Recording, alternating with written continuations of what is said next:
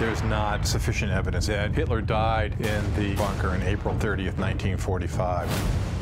Could Adolf Hitler have gotten out of Berlin and how did he do it? How did he enter Argentina? We're going to look at who could facilitate hiding Hitler. We need to take this out of the realm of hearsay and see what sort of technology we can bring. There are thousands of leads. It could completely change history. Hunting Hitler, all new Tuesday at 10 on History. This is the most sophisticated equipment that's ever been on this island.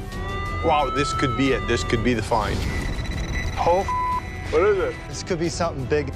Whoa. What the hell is